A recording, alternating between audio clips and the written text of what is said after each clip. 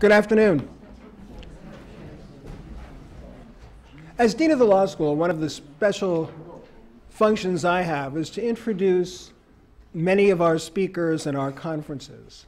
This one is always a treat for me.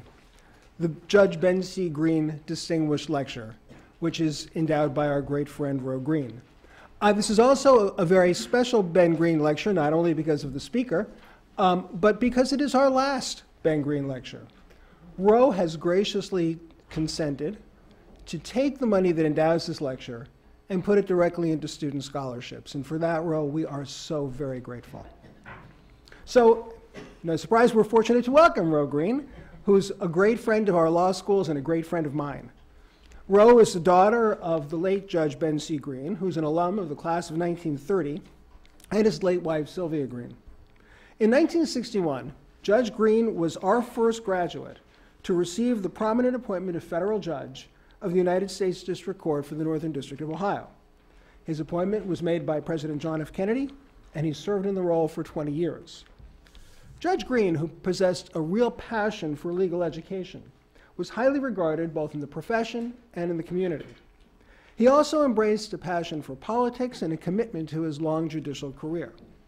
Fortunately for the law school, he also inspired the extraordinary philanthropy of his late wife and of his daughter Roe who together established the Ben Green Visiting Professorship, which is now a chaired professorship held by Professor Kevin McMunigal. Later, Roe, on behalf of her family and in honor of her late father, gave the largest individual outright gift ever received by the law school for our significant library renovations, and then went on to endow this lecture series, which will now provide scholarship money for deserving students. Roe also continues to be one of Northeast Ohio's most dedicated philanthropists to our region's arts and cultural institutions, and those of Denver, Colorado, and Jupiter, Florida. We are really fortunate to have Roe here, and it's an honor once again to say thank you. Roe, please. Thank you so much.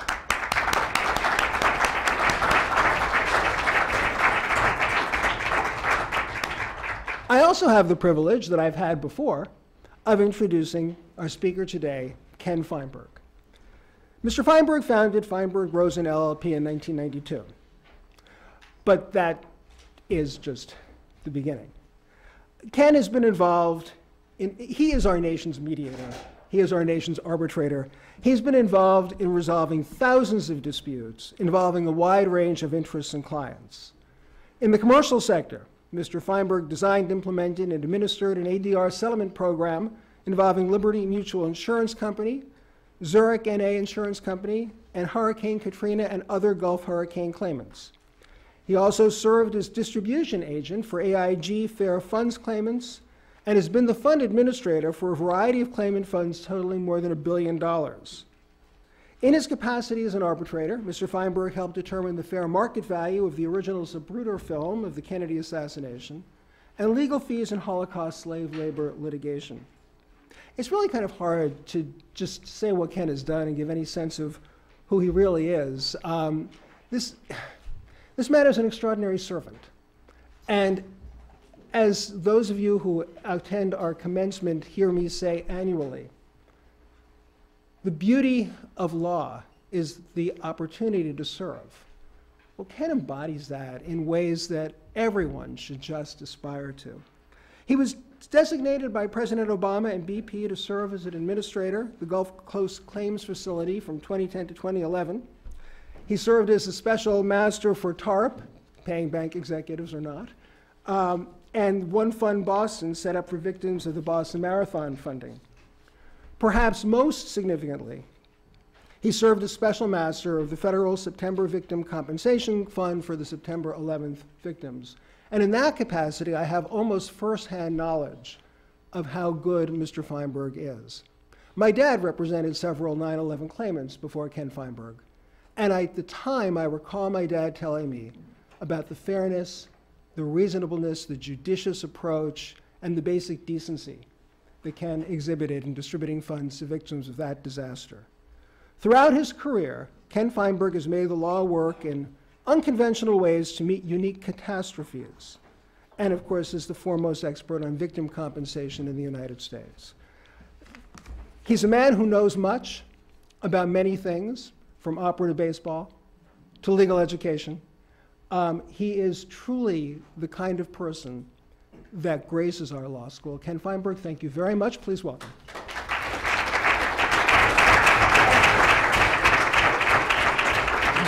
I want to um, I want to thank the dean at the outset. He says I know a lot about opera and baseball. Um, I guess it was obstruction when he slid into third base. I mean, it doesn't require any mens rea, so it's a strict liability offense. So if the runner is impeded, that's the end of it, I guess. Everybody seemed to think it was the right call, but I don't know who will win the World Series. But I want to thank the uh, the dean for. Uh, uh, those kind words. I want to thank Roe for her um, philanthropy, for uh, so much that she does to validate the memory of her father. And I hope that in some small way, my work and what I do exemplifies uh, what Ben stood for as a judge uh, and as a man. And I'm honored, actually, to be here today to deliver the endowed Ben Green lecture. I didn't realize until the dean introduced me that I'm laboring under some real stress since it's the last lecture that, of the Ben Green Endowed Lecture Series, so it better be good. Um, and I better be on my, uh, on my A game today during the next uh, half hour to 40 minutes. So I'll do my best to, uh, to vindicate the judge uh, and you and the law school. Now, when the dean introduced me just now, he neglected to mention my most recent book. Who gets what? Fair compensation in times of national tragedy. Public Affairs Press, 2012. Now, you may have trouble finding this book these days on Amazon or a local bookstore if there is one. Uh, you may have trouble finding it. Don't worry. My personal supply of that book is virtually inexhaustible. So if anybody has trouble finding the book, let the dean know and we'll manage to uh, do something about it. Um, now, he mentioned my work 9 11, BP oil spill, the Pay Czar. The Pay Czar, that was an interesting assignment, the Pay Czar. That was the job I had determining the salary, the compensation of certain corporate officials who receive top money, taxpayer money, so that the company would stay afloat. AIG, GM, uh, Bank of America, Citigroup. They call me the Pay Czar. Now, that's a, a, a, term, I mean, my grandmother would be very confused. Pay Czar. She wouldn't know what to make of that title. But it was an interesting assignment. Now, in all of these assignments, a few basic principles are important when we talk about unconventional responses to unique tragedy, tailoring the law to fit the challenge, to meet the challenge. We're in a law school. So let's get a few basic principles out of the way so that everybody is on the same page when we talk about some of my work. You will note that the 9 11 tragedy resulted in Congress passing a law 11 days after 9 11. And the law simply said anybody who would rather take compensation from a fund funded entirely by the taxpayer. Not airline money, not World Trade Center money, not um, Massport, Port Authority money. This is public money, 100% of it. Anybody who would rather accept a check from the United States people, taxpayers, rather than go to court, if you don't want to sue the airlines and the World Trade Center and, and all these other private entities, whether they're responsible for the tragedy or not, beside the point. If you don't want to sue, you can come into a very generous program funded entirely by the taxpayer. You don't have to. You can go file a lawsuit in New York City. But if you'd rather take the money, you can do so. In return, you waive your right to sue. You can't sue anybody. You give up your right, and in return, you get a check. And Feinberg will design and administer that program. Well, over 33 months, we distributed about $7 billion to 5,300 people who either lost loved ones or were physically injured. The average award, tax free, $2 million for a death claim, $400,000 for a physical injury claim. And in return, you waive your. Only 94 people decided to sue rather than come into the fund. The fund was a tremendous success. It did exactly what Congress wanted. It diverted 97% of all of the families that lost a loved one out of the tort system into a special program. And that's how it worked. Only 94 people decided to sue, and they all settled their cases five years later. There was never a trial over who was negligent or responsible for 9 11. It was it. It worked. It worked. But notice in that case, you waive your right to sue if you take the taxpayer's money. Now, BP, the same thing. After the BP oil spill, BP went into the White House to see President Obama, came out and said, anybody who voluntarily wants to take money from a special fund, not funded by the taxpayer, funded by BP, we will front $20 billion. 20 billion. And if that's not enough, we'll give more. And in return, we will pay all eligible claims arising out of the oil spill in the Gulf of Mexico. You don't have to. You can litigate if you want. And we agree with the president. Ken Feinberg will design and administer that program. Well, in 16 months, we paid out about $6.5 billion and received 220,000 releases from businesses and individuals promising not to sue. A trade. A trade. The program worked. Now, I must say, BP, we received a million two hundred thousand claims from 50 states. I got about 250 claims from Ohio. I didn't know the oil got this far to Ohio. We got about 250 claims against the BP uh, oil company in Ohio. Most of them weren't eligible, some were, but for the most part they weren't. But we got claims from Alaska, 400 from Massachusetts, um, 35 foreign countries. You build and announce a program like this, they will come. they will come in force. And they did. Most of the claims were denied. But 220,000 people waived their right to sue and took the money. Paid for by BP. Tax free.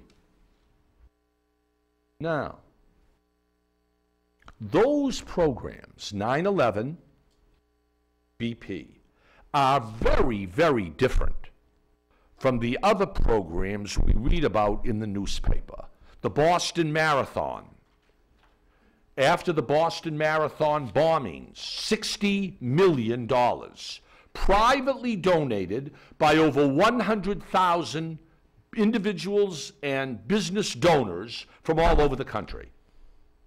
After Newtown, Connecticut, the Sandy Hook shootings of the little first graders, 11.5 million. Virginia Tech, the deranged student gunman who killed 13 people, uh, excuse me, killed 32 people, 7, 7 million uh, Aurora, Colorado, the movie shootings, Dark Knight, where the gunman comes in and sprays the movie theater patrons. 5 million. All of these programs are private donations. Private. People watch on CNN, they send in money. The money that is distributed in those programs is not part of the tort system. It's not an alternative to the tort system. You can take that money if you want. It's a gift. You can turn around and hire a lawyer and sue if you want to do that. In Virginia Tech, a few families did. A few families did sue, and they won against Virginia Tech. But make sure you keep them separate. The 9 11 fund and the BP oil spill, that is, th- those programs are alternatives to the tort system, to lawsuits. If you take that money, you waive your right to sue.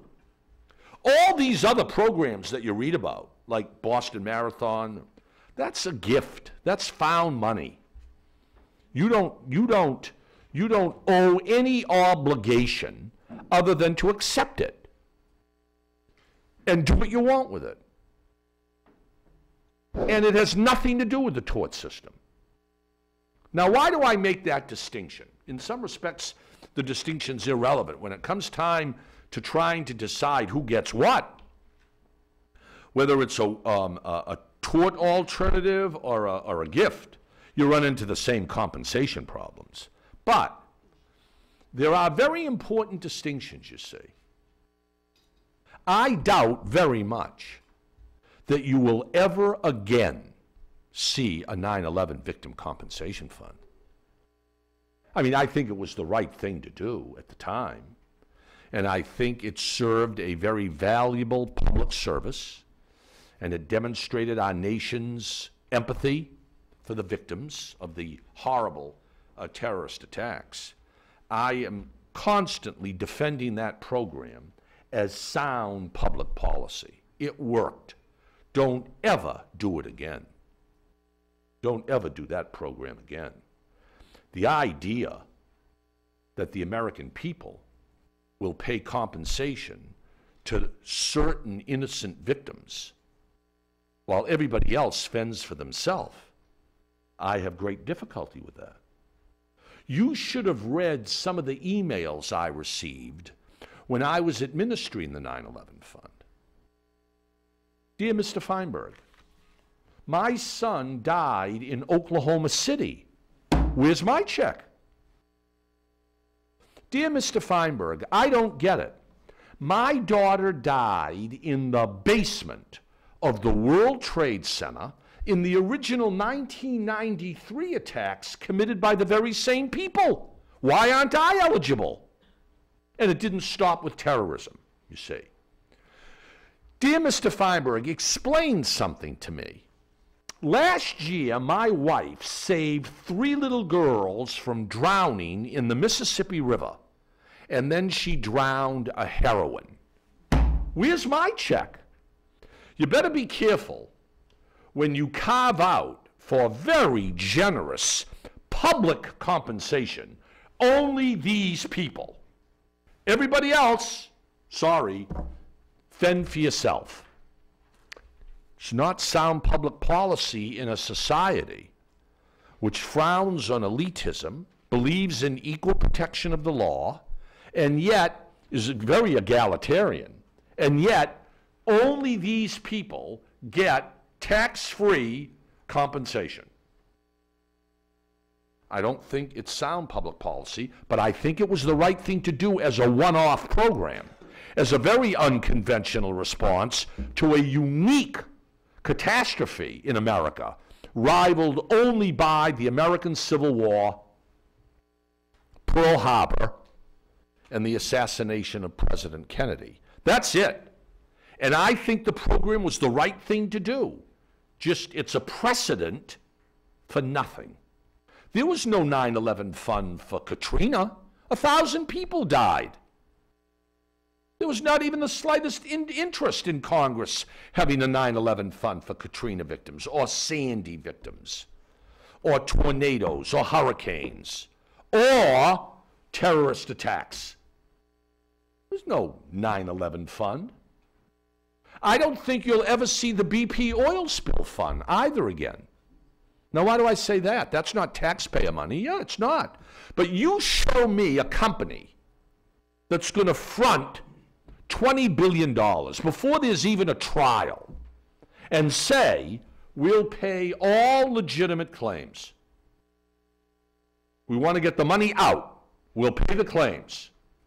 And we'll worry later about liability, about collecting contribution from co-defendants like Halliburton or, or uh, Transocean. Right now, we want to pay the claims. I don't think you're going to see that again. You haven't seen it before or since. I mean, $20 billion, that's not chump change.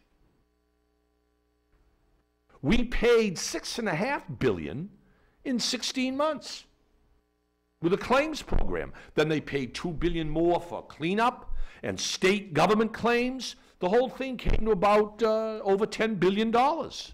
And now they're still litigating down there with others after the fund's long gone.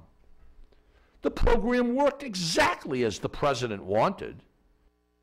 But I just I think it's a wonderful idea. I just don't think you'll see it again.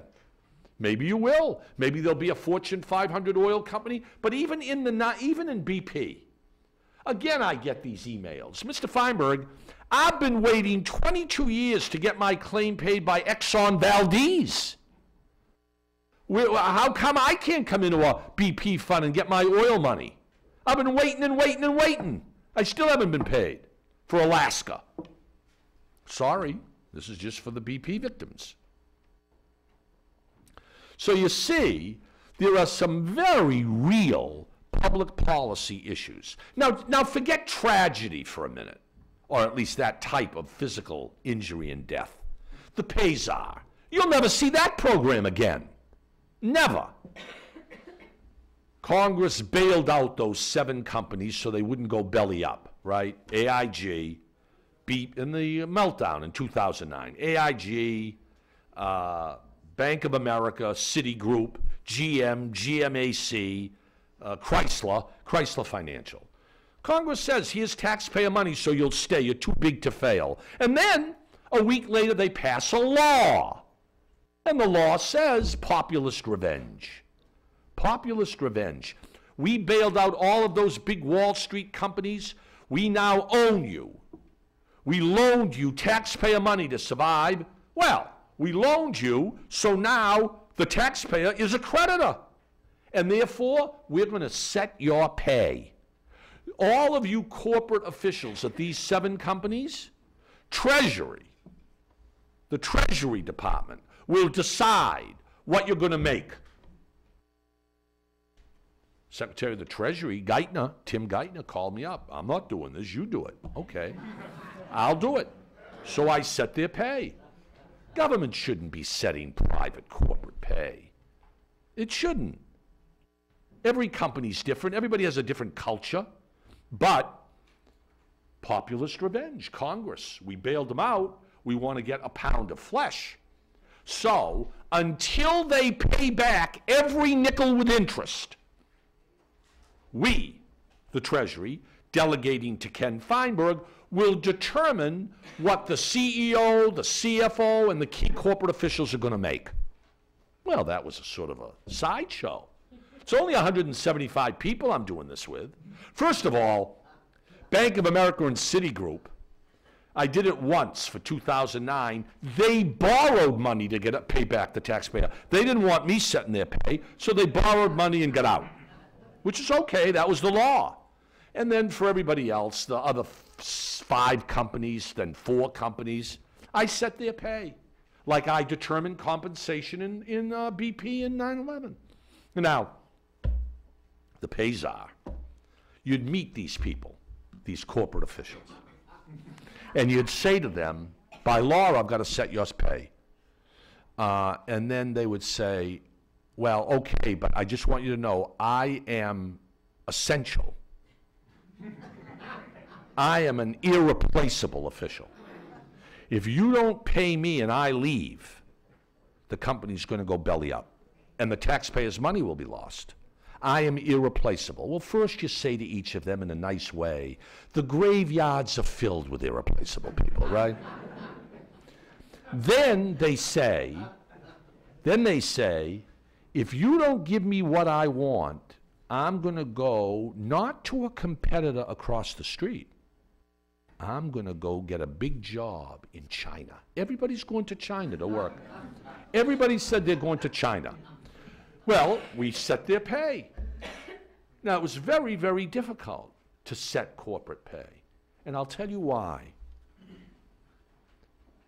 People think when you pick up a newspaper that corporate pay is all about material gain. I want this money because I want a third car or a fourth.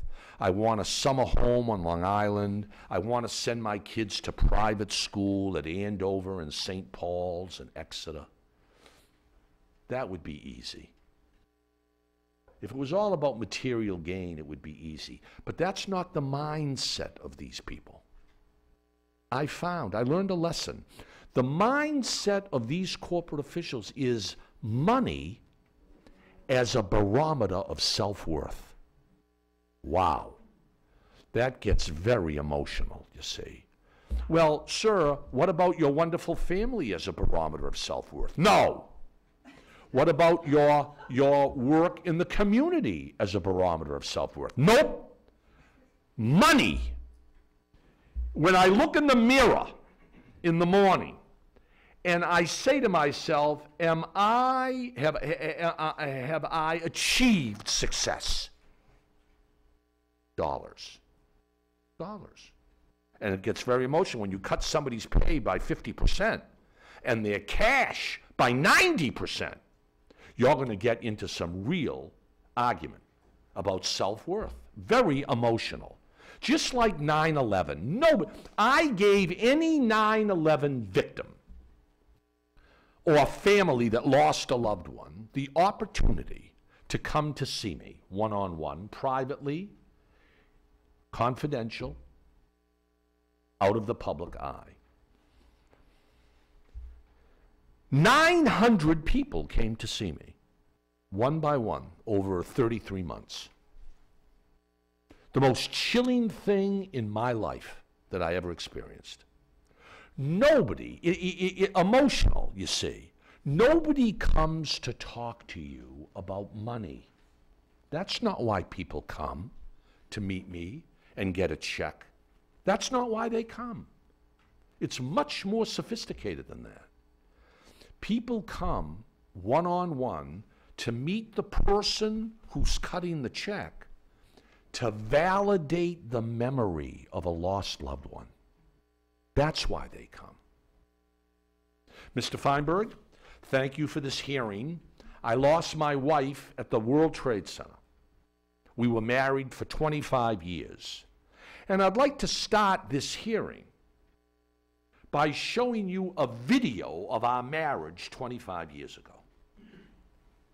Well, Mr. Jones, you don't have to show that video. It won't have any bearing on compensation, and I want you to see what those murderers did to my angel.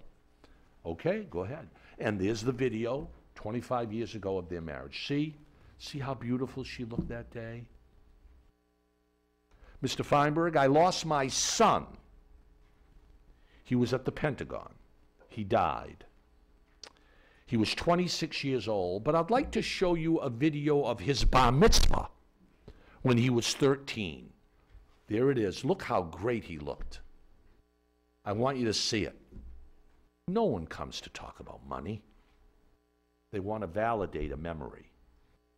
And woe be unto you if you in any way question that memory or question their thinking when they turn to you and they say, You're denigrating the memory of my lost loved one, you don't even know. I'll tell you a story. It's a law school. We're at law school here today.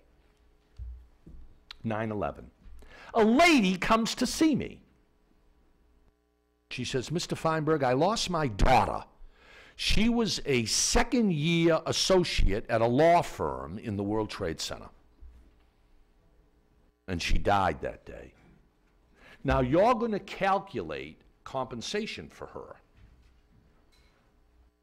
But when you calculate your compensation, don't you dare use her second year law associate salary because she was going to be a partner in that firm six years after, six years later.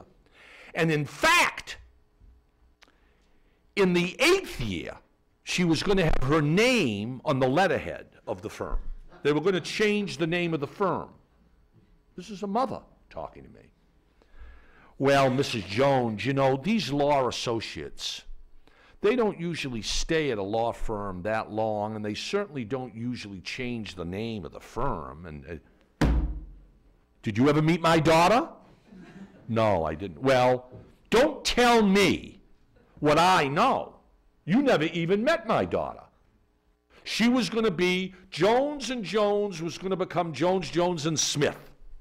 Eight years. So when you calculate the compensation, make sure it's a named partner that is the economic loss quotient of the calculation. Because she was going to be. People say to me, does it help to have a law degree? A law degree in this type of business is a wash. Better a divinity degree or a degree in psychiatry. Steve Hoffman, every day he has a divinity degree and a degree in psychiatry in his work, believe me. He knows, he gets it. That's what happens. You're dealing very emotionally. Now, that was a problem in 9 11. 24 year old woman comes to see me, 9 11, a hearing. Mr. Feinberg, I lost my husband. He was a fireman at the World Trade Center. He left me with my two children, six and four. Now, you're going to give me $2.3 million tax free. I want it in 30 days. I say to her, 30 days? Why do you? I've got to run the, uh, the, through this hoops here with the Treasury Department, verification, and got to get you the money. It may take more than 30 days. No! 30 days. Why? Why? I'll tell you why. I have terminal cancer. I have 10 weeks to live. My husband was going to survive me and take care of our two children. Now they're going to be orphans. I've got to get that money, Mr. Feinberg, and I've got to set up a trust fund as fast as I can. Well, we accelerated the money. Eight weeks later, we went to her funeral. You can't make these stories up. You can't make them up. That's the tough part of what I do, you see. It's the empathy, the interaction with human beings, not about numbers and law and proximate cause and duty and uh, negligence. It's about helping individuals and what it means. Now, let me give you one more example, then we'll move on. But I want you to get one more because I'd like to, it's a pretty sophisticated crowd. What would you do with this one in 9 11? Lady comes to see me, sobbing. I thought she was going to collapse in my office. Mr. Feinberg, I lost my husband. He was a fireman. He left me with our three kids, six, four, and two. Every, he was Mr. Mom. Every day that he wasn't at the firehouse, he was home teaching the six year old how to play baseball, teaching the four year old how to read, reading a bedtime story to the two year old. And what a cook! He cooked all our meals. He was the gardener around the house. He was Mr. Mom. Mr. Feinberg, the only reason I haven't jumped out a window and joined him our three children. But my life is over. It is empty. Without Mr. Mom, I will never be the same. I am finished. Sobbing, she leaves. The next day, I get a telephone call from a lawyer in Queens. Mr. Feinberg, did you meet yesterday with the woman? Yeah. And the three kids, six, four, and two, with Mr. Mom? Yeah. Now, look, Mr. Feinberg, you've got a tough job. I don't envy you. But I got to tell you, she doesn't know that Mr. Mom has two other kids by his girlfriend in Queens, five and three. And I'm telling you this because I represent the girlfriend, and when you cut your check from the 9 11 fund, there's not three surviving children, there's five surviving children. Well, but I'm sure you'll do the right thing. Click, he hangs up, you know. Do you tell her? Do you tell her? We went, that's what keeps you up at 3 a.m. Do you tell her, Mrs. Jones, there's this other family here? Well, we didn't tell her. We cut one check to her as the surviving spouse with the three kids, and then we cut, unbeknownst to her, we cut a second check to the girlfriend as guardian of the two kids. Paternity and everything. That was it. That's what we did. I don't know if that was right. We were divided. The staff, we were going back and forth on that. Those are the problems, you see. Unconventional responses to tragedy lead to unconventional challenges. BP, a million two hundred thousand claims. The problem in BP was volume and no proof. People are filing claims with no proof. Mr. Feinberg, I lost $100,000. We couldn't fish. Okay.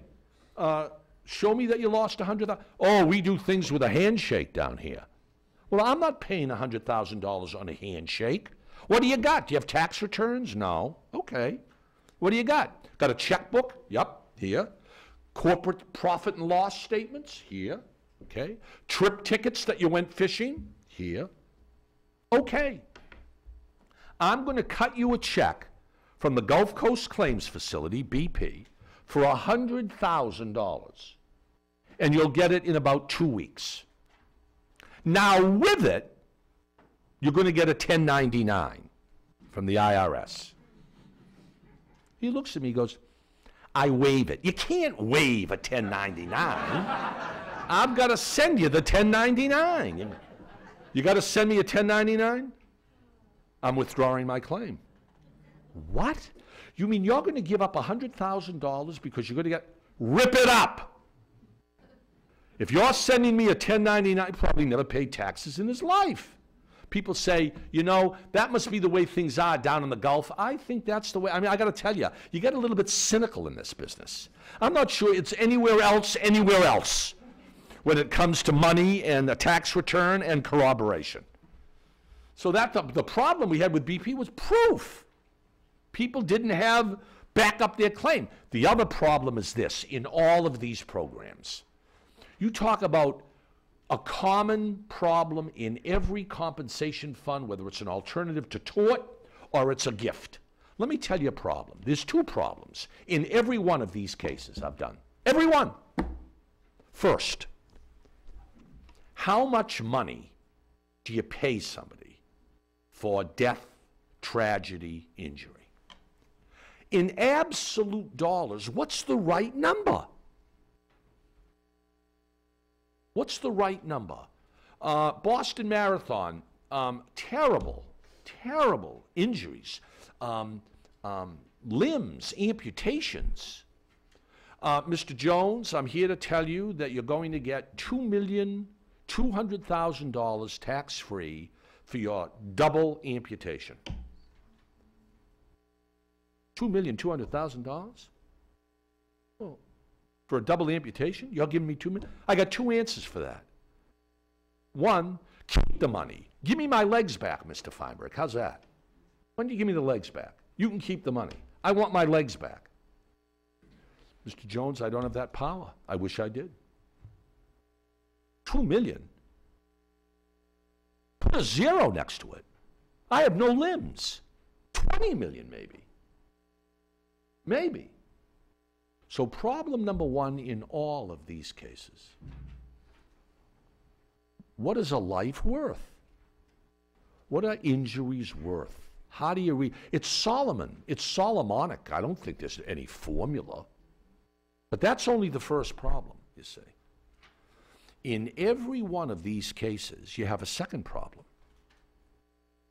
Everybody counts other people's money, you see. It's not just what am I getting. Why are you denigrating the memory of my wife who died when the next door neighbor you're giving an extra million? What, you never even met my wife. What do you have against her? Mr. Feinberg, I work in a New Orleans fish market, uh, a New Orleans restaurant, and I lost all sorts of tips and wages because of the oil spill. Now you're sending me a check for $12,000. But you're sending my next door neighbor, who's a waiter in the very same restaurant, $20,000. What did I say wrong? What do you have against me? Mr. Jones, you filed a tax return that said you lost 12,000. He filed a tax return that proves he lost 20,000. You, you, you know, you can't have it both ways. You filed a different income statement than he did. That's the reason? We both had the exact same jobs. So what if one fudges or does? I mean, come on. What do you got against me? That's America. That's the problem you run into. That's the problem. It's not only absolute dollars, but everybody counts other people's money. And that makes it even tougher, you see. So after you get through all of the vagaries, you know, the differences, BP versus 9 11 versus the marathon versus Newtown, Connecticut, at the end of the day, you've got the same checklist of questions, right? And you all know every time I do one of these, here are the issues. Here's the summary. Here's the agenda. One, who's how much money do you have? One. that drives a lot of this. Do you have 20 billion, 60 million, or 5 million? Makes a difference. You only have so much to distribute. That drives everything. How much money do you have? Two, who's eligible? Who's eligible? In, in, in 9 11, Congress said under no conditions can you pay people suffering only mental trauma. Said it right in the statute. There's got to be a physical injury. In Virginia Tech, we paid mental trauma only for those students who were in the classroom where the carnage took place. One student came to me and said, Mr. Feinberg, uh, my, my friend to my left got his head blown off. My, my friend to my right got her head blown off as the fellow pointed the, the murderer pointed the gun, click. Russian roulette, no more bullets. While he was reloading, I jumped out a window. I can't get out of bed now, no injury, but I'm shaking. We paid mental trauma for students in the classroom, but we didn't pay mental trauma for students across the street watching all of this unfold on a dorm, at a dorm. Don't have enough money. Who's eligible? What's the methodology for calculating damage, you see? Now, that's a law school question. If you're teaching torts, then you know. BP and 9 11 are alternatives to the tort system. You're trying to keep people out of the tort system. You have to pay them according to the tort system economic loss and non economic loss. Everybody gets a different amount of money. In these other funds that aren't tied to the tort system, no release, you can do what you want with the money, you can have a much more uh, egalitarian formula. Anybody who lost a limb gets X. Anybody who lost a loved one gets Y. Same. Anybody who lost one limb gets Z. Anybody in the hospital, how long are you in the hospital? If you were in the hospital over a month, you get X. If you were there three weeks, you get Y. If you're there two weeks, you get Z. You do it that way. Much easier. Much less divisive among people, very emotional people. But that's the methodology you've got to decide. Proof. Next issue. What do you have to prove to get your money? What do you have to prove? Next, due process. Are you going to give everybody a hearing? I did in 9-11. We did in Virginia Tech and, and, and Boston Marathon, and uh, but not BP. A million two hundred thousand claims. I mean, who can have hearings?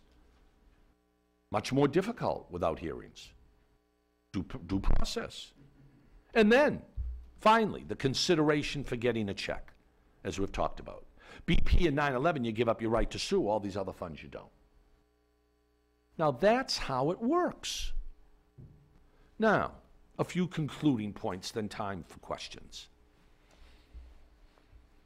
What I do is not rocket science.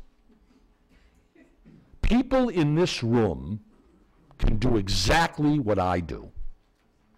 You don't need a, a degree in astrophysics, and you don't need a law degree. You need a degree in, in human nature. You need a degree in understanding people. You need a degree in empathy, in listening, in trying to relate, and be prepared to make mistakes. Every time I do one of these, I do something wrong. Every time. 9 11. Mr. Feinberg, I'm 71 years old. I lost my son at the Pentagon. He died. He escaped when the plane hit. But he thought that his sister was trapped. So he went back into the Pentagon to look for her. She had escaped through a side door. She was fine. He died looking for her. Mr. Feinberg, I'm 71 and I'm a parent burying a son. It's not supposed to be that way. I looked at him. I said to him, Mr. Jones, terrible, terrible. I know how you feel. Big mistake. Guy looks at me, tears. Mr. Feinberg, you got a tough job. I got some advice for you. Don't ever tell people like me that you know how I feel. You have no idea how I feel. And I, I, some friendly advice. Don't do. Don't don't say that to people. I'll never say that again. Never say that again. Then I was down in the Gulf of Mexico. Anybody here from Louisiana? Plaquemines Parish. Back far from New Orleans. The president of the parish. There's 300 fishermen in a gymnasium listening to me explain how they can get paid. So the president of the parish introduces me as a model public servant. He says, Mr. Feinberg's down here. He is a model public servant. So I get up and I start my spiel and I say, I want to thank the president. And I, I'm trying to be a model in getting money out. So I'm trying to be a model. Some fisherman grabs a mic from the back row, 300 people. He says, Mr. Feinberg, stop, stop, Mr. Feinberg. We've read all about you, and you are a model. You really are. You know what a model is, Feinberg? A small replica of the real thing. That was the end of that meeting.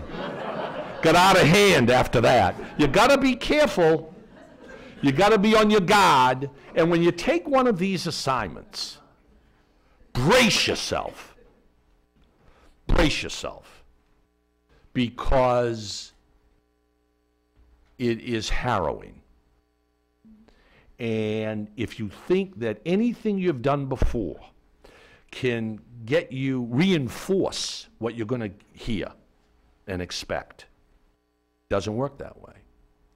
But if if you're asked to do this by President Bush, 9/11, President Obama, BP, Mayor Menino, Boston Marathon, um, the president of Virginia Tech, Governor Hickenlooper of Colorado, the uh, Dark Knight shootings. You do it. I do it because you would do it. We're all American citizens. If, if, a, if a policymaker decides to call on you and ask you to do something, you do it. You do it. And that's the way it is. You don't go looking for these things. And that's the last point to make here today. I don't decide whether or not it's a good idea to compensate people. Policymakers make that decision. The American people often make that decision. I get involved because a decision's already been made to set up a compensation program. And now somebody's got to design it, implement it, administer it. I don't call I don't call the president. The president calls me and the mayor and the governor of Massachusetts. If they called you, you'd do it. That's part of being an American citizen. And I think that gets us back finally to Ben Green. Ben Green was appointed to the federal bench by a fair haired son of Massachusetts, President Kennedy. I grew up as a teenager when President Kennedy was elected. government and government service and the public interest and helping your fellow Americans meant an altogether different time, you see.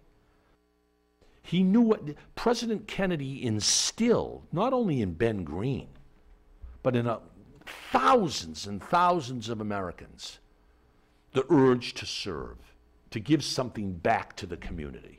You don't see it enough today. You don't see it enough today. So, when I'm asked to deliver the Ben Green lecture, I'd like to think that maybe at least the distinguished jurist Ben Green and myself, maybe we do have something in common. We owe a debt of gratitude to President Kennedy and what he stood for on this next month, next month, the 50th anniversary of his death. So there we are. We've still got about 10 minutes.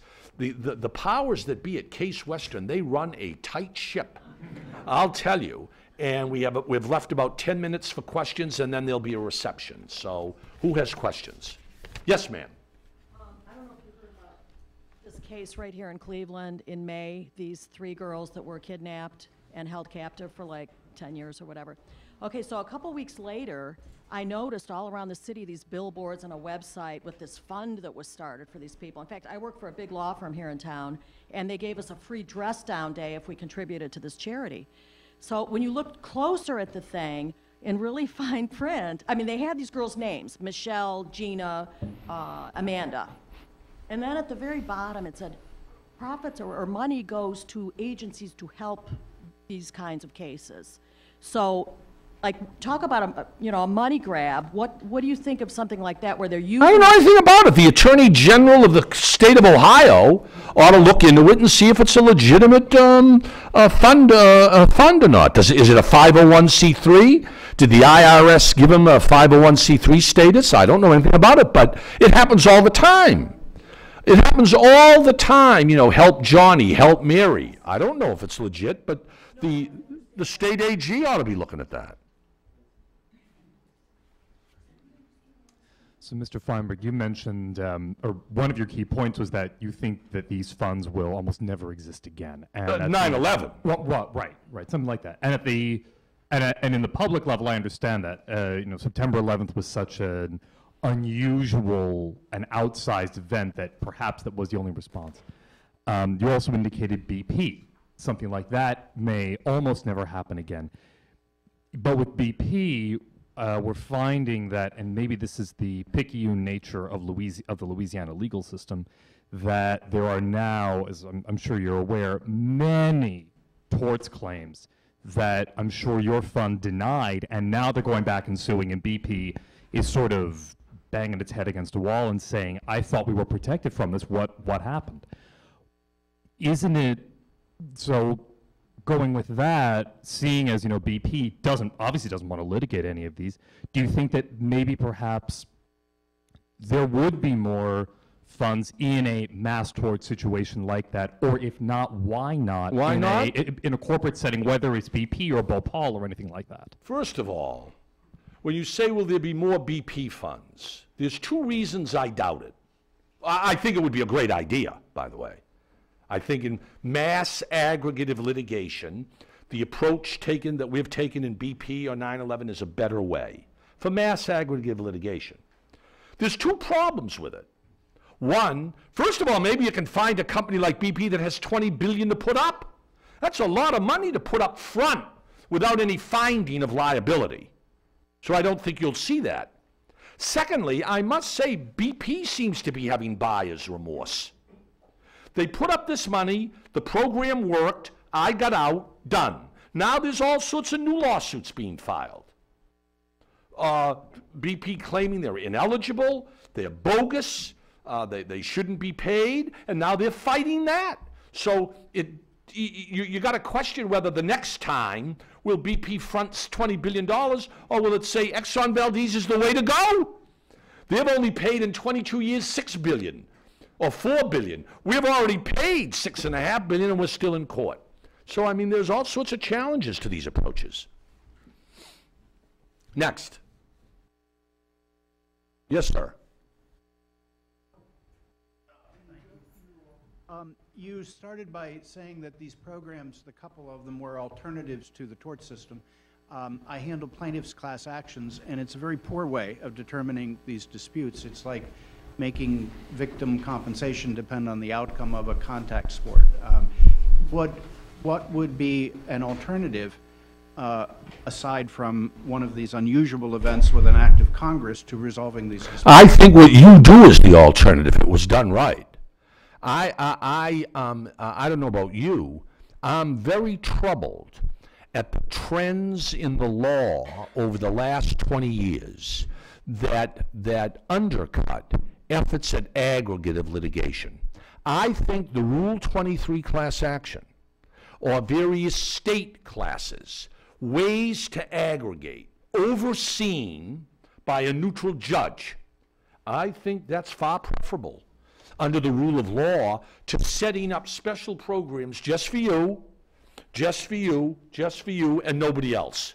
So my solution to all of this remains, I'm a, a big believer in the, the benefits uh, of uh, the efficiency and speed benefits of real class action law that isn't hampered by um, efforts to undercut, deny certification, deny claims. Um, that's the problem. And the reason that the 9/11 fund and I think the BP fund um, is is is attractive to people is that it's an alternative to attempting to aggregate in a much more efficient, quick way, rather than you banging your head against the, the, the wall, trying to get the courts and the judiciary and the defendant to agree that an aggregative certification makes sense. That's the way I would go if I had my druthers as a policymaker. A Few more? Yes, ma'am. Hold on, you're next. It's my understanding that in addition to the, and this is the first I knew that there, the federal government put up money for the 9/11 Victims Fund. Wasn't there a lot, weren't there a lot of other public donations, and what happened with that, those monies? There were a lot of other private charitable donations, about another two and a half billion dollars. That's separate. That had nothing to do with me. In fact, you could make an argument that the statute required me to offset that money that went to a fireman's widow, $5 million, before I even cut the check. The trouble with that is I went to see those charities and I said, you know, under the law, I may have to deduct what you give the firemen. No, the charity said, you're going to do that? We're going to hold back all of our money till you cut your check because we're not subsidizing the taxpayer. Well, I blinked. I'm going to be responsible for holding back millions, billions of dollars in charitable money. I said, yeah, you're right. I'm not going to deduct it. So a fireman, my, a fireman's widow got on average two million tax-free from me and another three million from private charity, which was a separate, wholly apart from what I was doing. Yes, sir.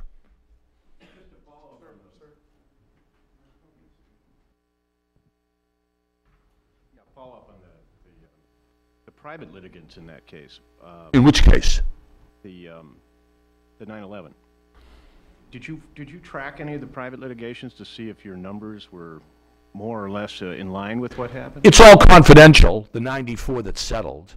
But um, um, I think probably uh, some people might have got more, some people got less. Don't forget, though, you're giving 25% to your lawyer.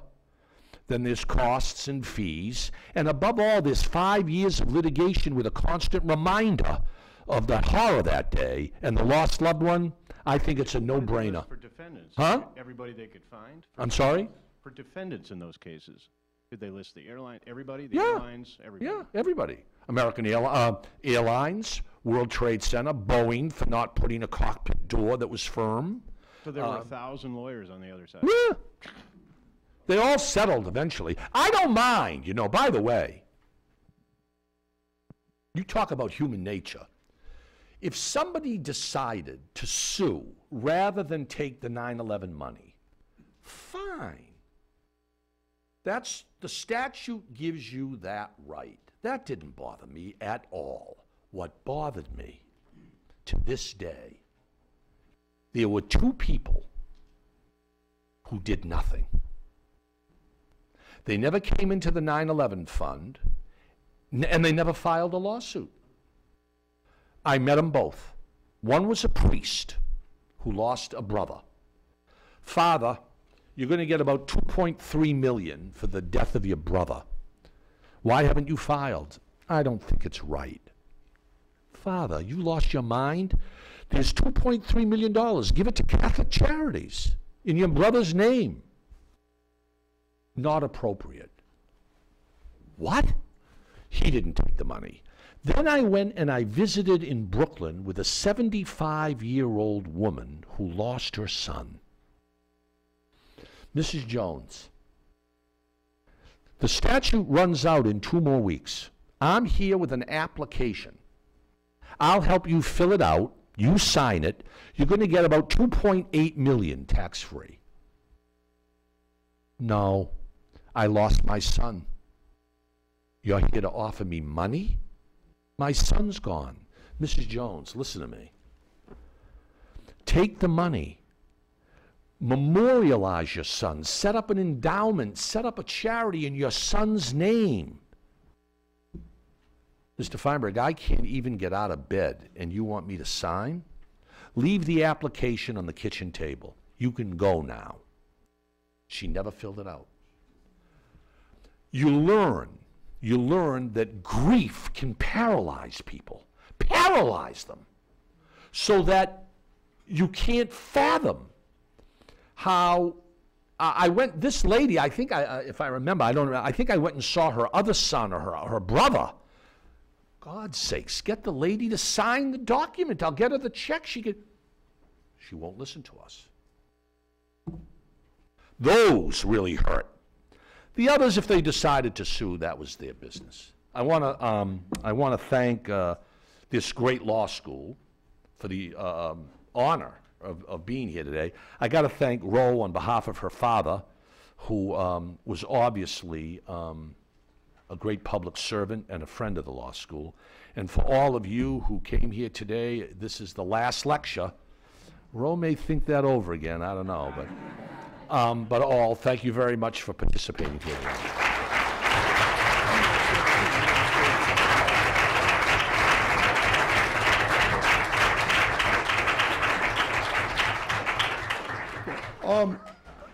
For those of you who don't know me, I'm Jonathan Entin. I'm the academic dean. I spend a good part of my life in meetings.